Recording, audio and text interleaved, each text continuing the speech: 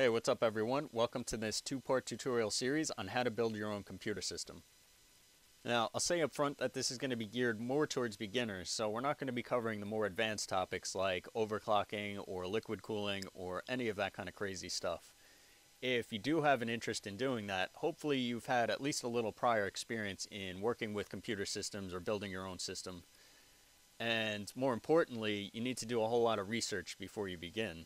So you can go on the web to a source like overclock.net and use their forums to start doing your research and get some feedback and ask questions on different components before you start spending a whole lot of money on them and run into a problem later on. Now for us, we should discuss the benefits and the drawbacks to building a computer system. So from the benefits, you can, number one, select the components from specific manufacturers to build precisely what you want and you can actually set it up to be a lot more upgradable in the future so that it'll last you longer. And in the long run, this can actually end up being cheaper. So if you take a computer that's pre-built generically from a company like Dell, for example, it might meet your needs right now, but later on you might say, hey, I want to start doing some gaming. And in order to add a graphics card to that, you need a whole new motherboard and you need a stronger power supply. And at that point, it just becomes cheaper to go out and buy an entire new computer system. But now you've bought two computers, whereas if you plan for upgrading in the future, you're actually going to save yourself money because now you just need to go out and buy certain components to boost up your computer to do exactly what you want. And of course, in the end, it can be a fun and rewarding learning experience because now you've done your research, you've gotten all these parts, put it together, and now you have something that fully functions and you can work with and you can say, hey, I built this.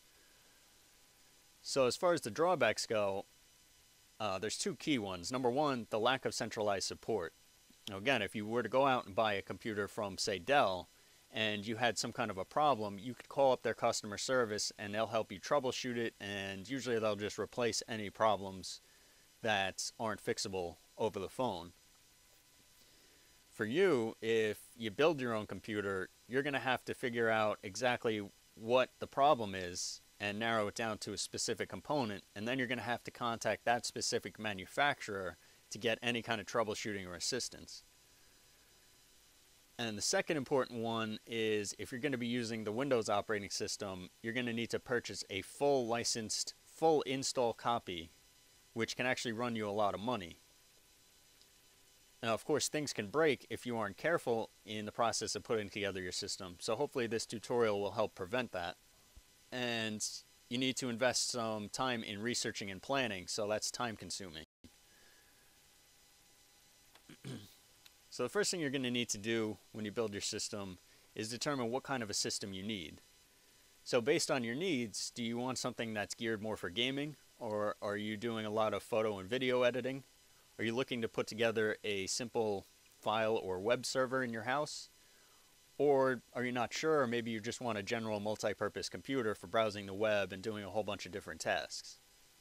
So based on that, you can start to figure out whether maybe you want a specific form factor or a size. So if you want something that's going to be really small and tucked into a closet, such as say a file server, then you can get away with a really small form factor Whereas if you're going to want something for gaming, you're probably going to want a tower format and maybe even a larger tower format to fit some of the cooling components or cer certain other components that you might put into it. Um, do you need specific CPU performance? So for example, if you're doing gaming, do you need to meet certain clock speed requirements or if you're doing multitasking, do you need a certain core count? If you're doing heavy multitasking, of course, you're going to want to increase the amount of RAM. And if you're going to have more than 4 gigabytes of RAM, then you need to have a 64-bit capable architecture and a 64-bit capable operating system. This is kind of not really important so much anymore because most systems now do support 64-bit. So you just need to make sure that you get a 64-bit capable version of the operating system. Now again, if you're doing gaming, that means that you're going to want a better video card. If you want a better video card, that means that you need to make sure your power supply can handle it. So you're going to need a more powerful power supply. And to make sure that you can properly cool the system because, again, a better video card is going to crank out a lot more heat. And finally, and probably the most important, is your budget. So if you're worried about your budget, maybe the first thing you should do is go and check out the Windows licensing and pricing because that um, might take perhaps the biggest chunk out of your budget, uh, or at least the second biggest. Some of the video cards can run you, you know, $400 up to $1,000 or more. So just check out the Windows pricing scheme if you need to use Windows and make sure that you're looking at the full installation, not the upgrade versions, which are a little bit cheaper usually. Now some of the resources that I'll list, and we already looked at one for overclock.net, so I thought I would list it here. Um, Tom's Hardware is a great source to get reviews and feedback on different components before you buy them, so you can see what other people are saying or maybe compare them with other types of hardware. Um, Micro Center is the website that I'm going to be using to do our little mock build for demonstration purpose.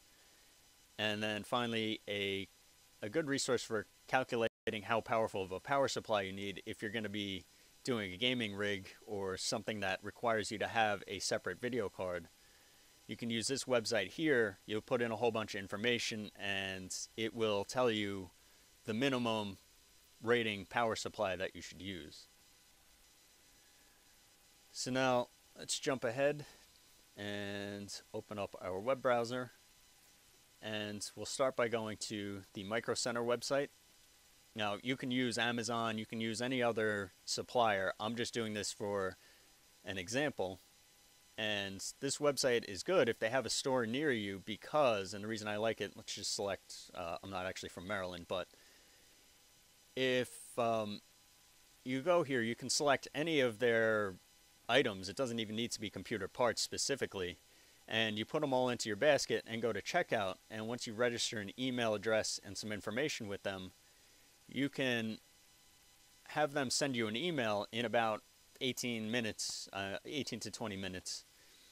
And they'll say, hey, we have all of your parts here, come and pick it up.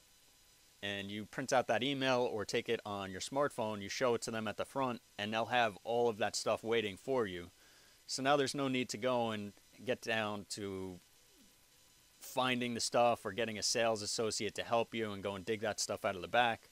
You'll just know once you get there, everything's already waiting for you.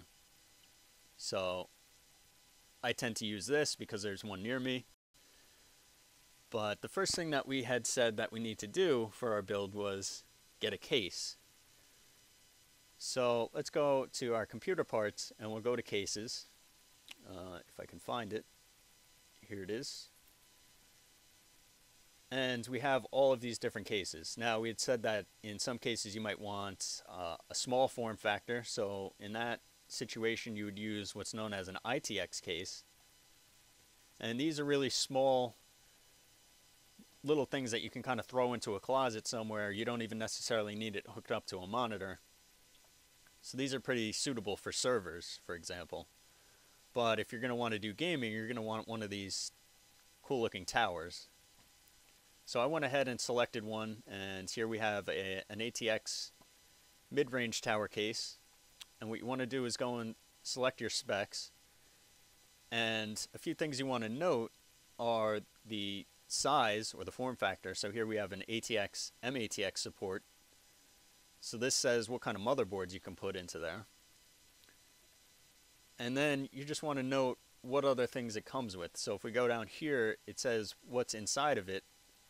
Um, it's just a case. It does not come with a power supply. Some of them have their own power supply built in, which is fine if the power supply is powerful enough for what you're going to need.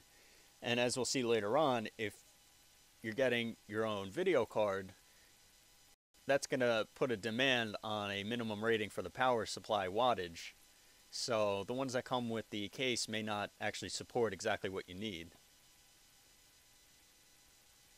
And in this case, it actually comes with one fan with blue LED lights. So let's just go ahead and um, we'll zoom in on this. And you can see in the back, it's already got one fan mounted in it. It's got blue LED lights on it. the power supply unit is actually going to mount in the bottom. Sometimes they actually mount on the top. So that may or may not matter to you. And just take note of how many fans it supports. If you're going to want to do something like liquid cooling, which I'm not going to cover, but in this case, it does support it. It doesn't come with it. But you can see these two holes right here and here, which would be used for the liquid cooling system. So this case is actually pretty good. It fits what we would need for a basic build. And so the next thing that we can go and do is pick out our CPU. Now, I tend to go with the Intel processors. A lot of people swear by AMD. They say that they run cooler, which may be true, but Intels tend to handle the heat a little bit better, in my opinion. So it's really, you do your research and determine whatever you want or what other people maybe tell you that you want to do. You can listen to them. But the important thing you want to note with the processor is the socket type. So for this Core i7, it uses the socket type LGA 1155.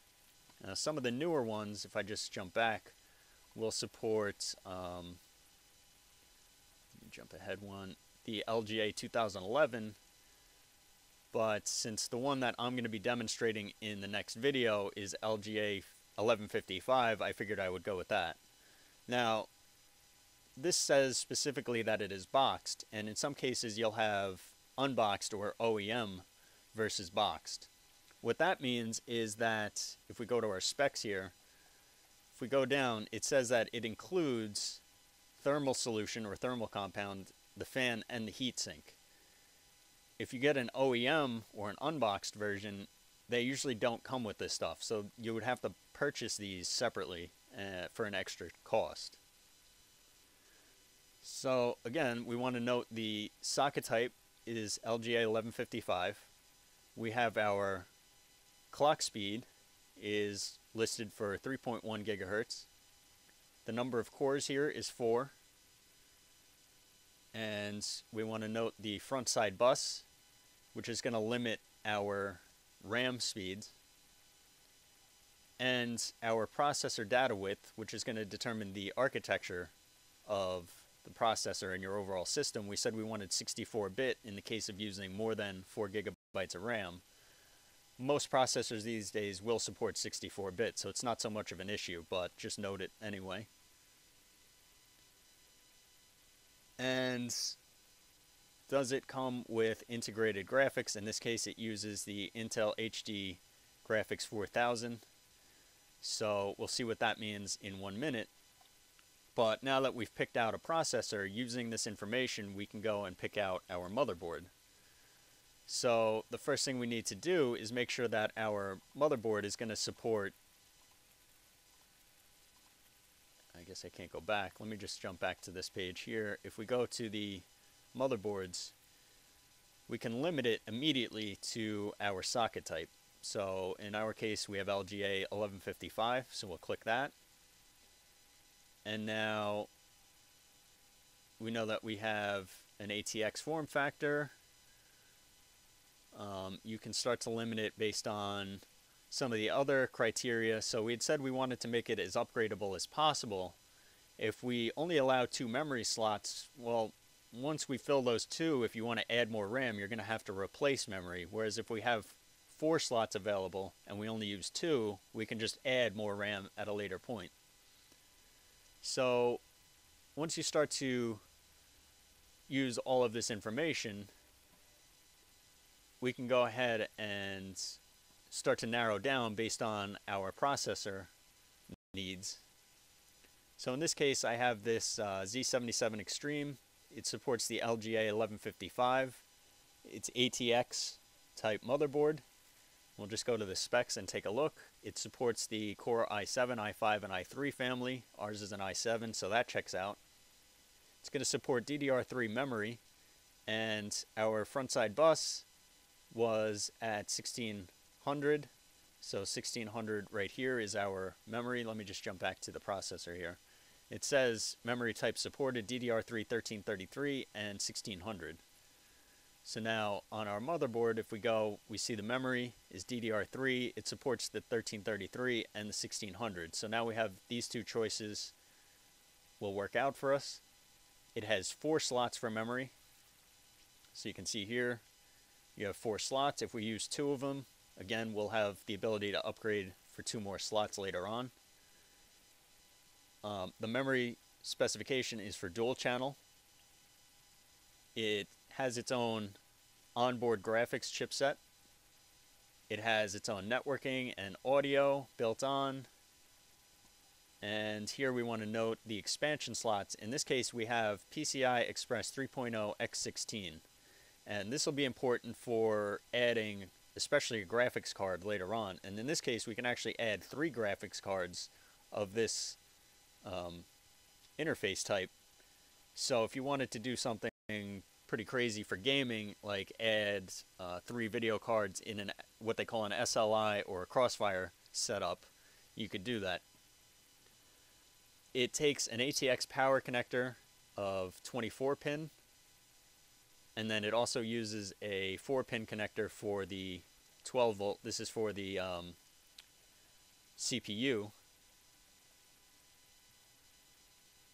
And I think that's about all we need to account for for this. So now uh, let's just jump to the side view and take a look at it. You can see that it has two USB ports there, another two and two there.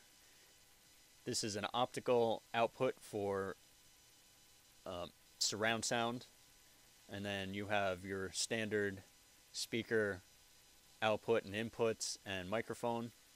Here we have an HDMI output. Um, so you can hook this up to your monitor or to your TV, for example.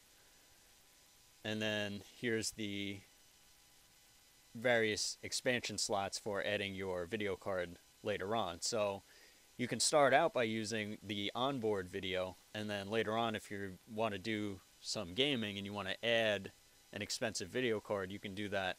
So again, this falls into the line of upgradability.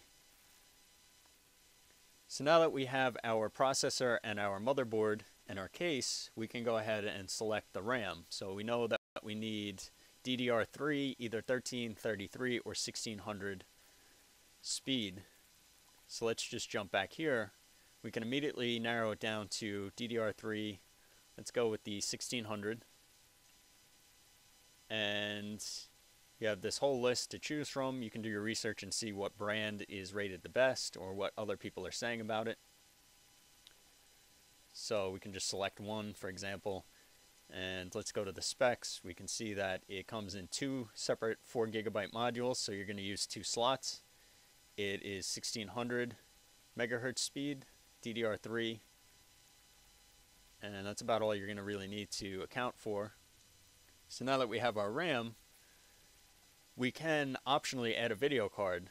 And since our motherboard has onboard, sorry, wrong one, but also supports expansion later on, you don't need to do this, but the option is there if you want to do it later on. So maybe you don't want to spend $460 right now, but in a few months you'll have the money to do that and you can then go ahead and buy this, but your computer will still be usable in the meantime.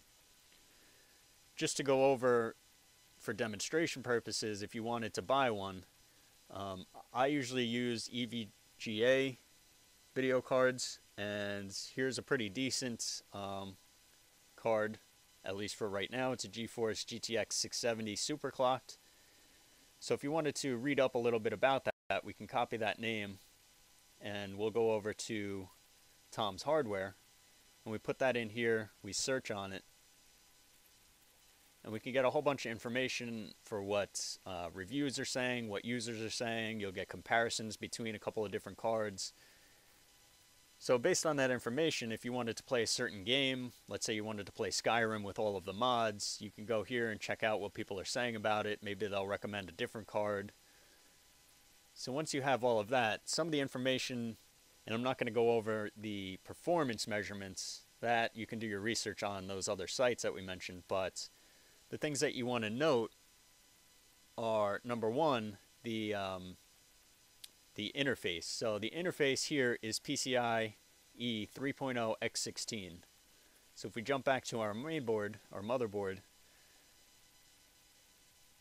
again, it said that it supported three PCI Express 3.0 X16. So as long as it supports, and again, it has two for the X16 and two more for the X8.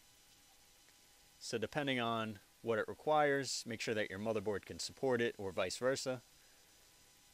You also want to note the wattage requirement and the power connector requirement. So this card at maximum is going to draw 500 watts and it requires two PCI E 6-pin connectors.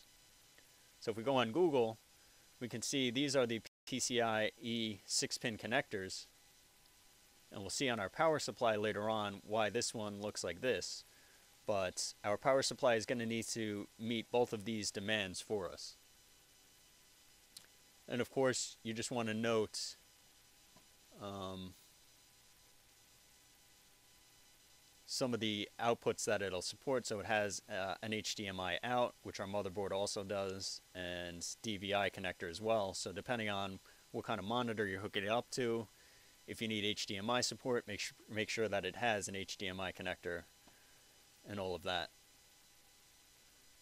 So now that we have all of that, we can determine our power supply. So again, you wouldn't need a 500 watt power supply if you weren't using this graphics card. But if we only limit ourselves to say a 400 watt or 350 watt supply right now, and later on we want to upgrade to a video card like this, we're going to have to go out and buy a whole new power supply unit. So even if you're not going to use one now, you should determine what the basic uh, requirements for a video card are and use that to determine which power supply you're going to get.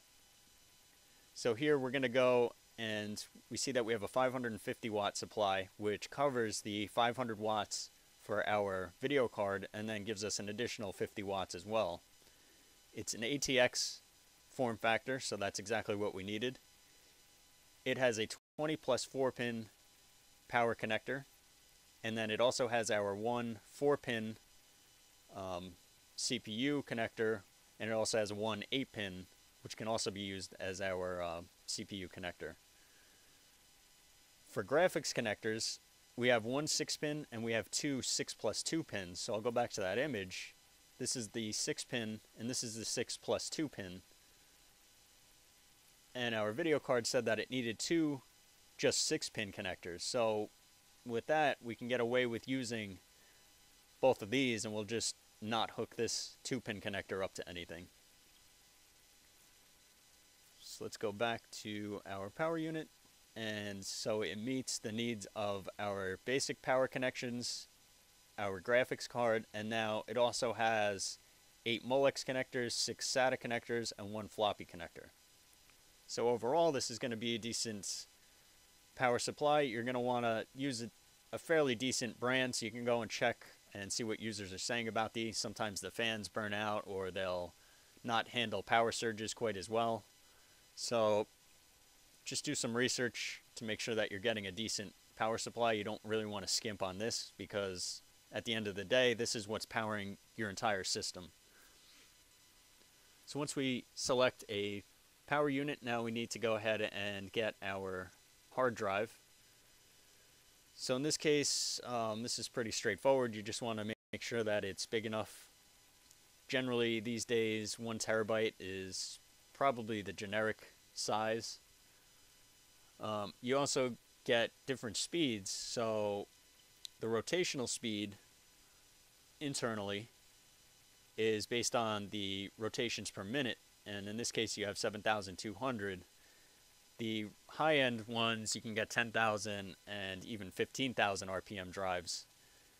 Then you have the interface connections. So you can have SATA 3.0, uh, 1.5, 6.0 which determines how fast it's going to connect between uh, your motherboard and the hard drive itself. Then you have your physical size. So this one is a 3.5 inch, some are 2 inch, 2.5 inch. And then, of course, you want an internal drive. You have the ability to use external drives, USB drives, but as your standard um, default primary drive, you're going to want an internal hard drive. So let's just go to the specs. It's 3.5 inch. The interface is SATA 6.0, so as long as your motherboard has the ability to interface with this, you're fine. One terabyte, the size of the cache, which just helps to boost performance measurement. And then finally, there's one thing to just mention. There's also the new um, solid state drives, and they, they make some solid state um, hybrid drives. They're a little more expensive, and you can read up on it. Um, solid state are definitely a lot faster. You'll load your operating system uh, way faster than something like this, but they do have, they're, number one, they're a lot more expensive, and number two, they can after a while start to degrade and not work as well as they used to. I think that they've started making advancements so that that's not as much of an issue, but especially when they first came out, they only had a limited number of read and writes before they would start to really burn out and malfunction. Now, we need an optical drive, and again, these come in different form factors, so we want an interface for SATA. The other one, the older version, is IDE. But for the most part, I think uh, that's kind of phased out and we're just using SATA now. And you have different types, so you know you have CD, you have DVD, and you have Blu-ray, and then of course you have the ability to just read, to read and write, and then to read, write, and rewrite. So it's pretty cheap nowadays to get a Blu-ray burner, which can do regular CDs, DVDs, and Blu-rays, and it can read, write, and rewrite, I believe. So if you go here, it'll just tell you here DVD reads and write speeds and all of that information. And now, of course, um, when we talked about the processor, we had said that there was OEM versus boxed, and the OEMs don't come with their own heatsink and fan unit. So if you get an OEM one, you're going to want to go out and buy your own additional cooler. Or if you're going to be doing an overclock or a gaming computer, you might want to use a better heatsink and cooling unit than the standard one that comes with it. So in that case, you can go out and buy your own. Um, Thermaltake makes some cool ones. Here, uh, it's a little expensive, but if we take a closer look at it, you can see this is the actual heatsink portion that attaches to the processor and then this just helps to dissipate it. There's a fan on either side and a series of cooling vents. This just draws all of the heat away from the processor and helps to remove it from your system. So if you buy this, you just want to take note that number one, it fits your processor socket. So we have an 1155. It's going to fit what we need. Uh, it tells you it actually works with the Core i7 family, Core i5, Core i3, so this is good. And overall, it'll tell you what's in the box. So it comes with the cooler, the mounting brackets, the hardware, and in this case, it comes with its own um, thermal compound, so you don't need to buy that extra. And it comes with two fans, which are built on either side here. And then finally, if we needed some additional things, we could go here to the um, accessories for air and water cooling. This is where you would select your heat sinks, your additional fans. So you may want to pick up one or two extra fans for your case. You can get some with lights on it. Sometimes these are annoying, so you just want to get a generic regular fan with no LED lights in it. And if you needed some thermal compounds, you could get that here as well. So once you buy all of these items, again, you can add them to your cart and then check out. If this store is near you, you can go and pick it up. Otherwise, you can have it shipped to you. Or you can use a site like Amazon to get all of this stuff as well. But I just wanted to show you how each of these things can relate to each other and you need to take note of certain different parameters when you pick up the various components. So now once you've picked up all of these pieces, in the next tutorial we're going to pick up where we actually take them all and put them together into a fully functioning computer.